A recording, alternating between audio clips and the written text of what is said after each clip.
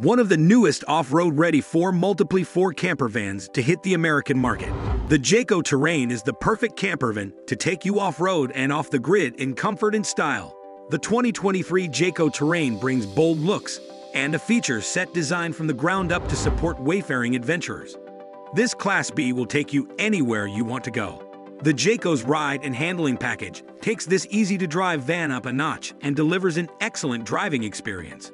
Sleek interior styling and upgraded power systems allow you to enjoy the comforts of home in the most hard-to-reach destinations.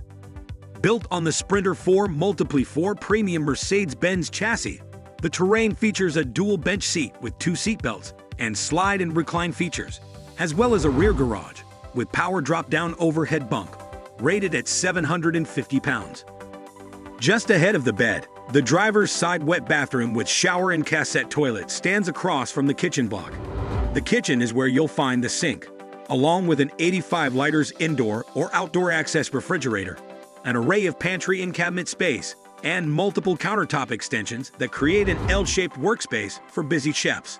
When cooking turns to eating, the flip-up indoor table creates the dining area in conjunction with the two rear passenger seats and swivel driver cab seats.